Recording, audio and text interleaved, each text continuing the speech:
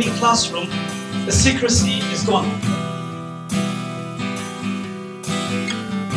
And we're involving the parents. And you can go on yourself every day or every week um, because I'll be updating this on a weekly basis.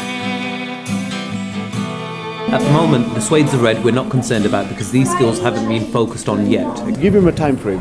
Tell him within two weeks I want to see this grade. So if you give him that time frame, he will he will have a certain target to work with.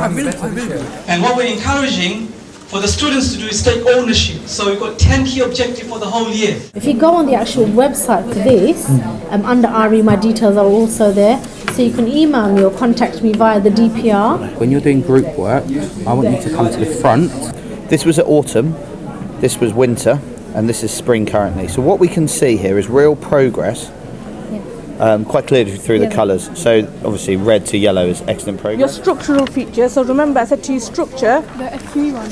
FQE. So in September, we, we hadn't really done that, but by now, if you have a look here, you are on six out of eight. So already you are consolidating. Already that colour has changed, in in the matter of a few days.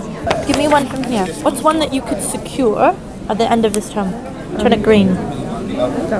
You can prove to me you can memorize it as a tots. So if we have a look then at your SPAG, you got 15 out of 16. That's really, really good. So and that is clear here, isn't it? So that's good.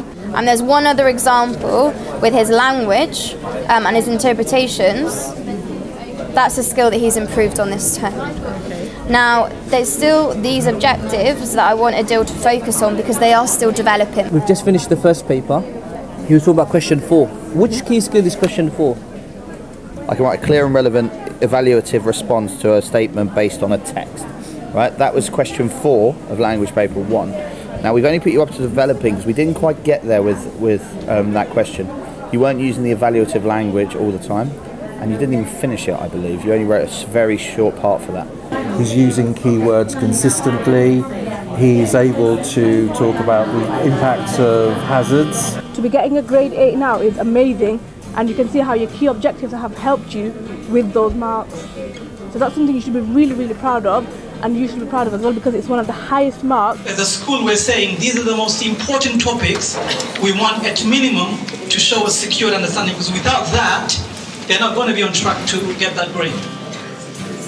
That's very important. So all the red, all the orange needs to turn to green and we want your help to chase that up with your children.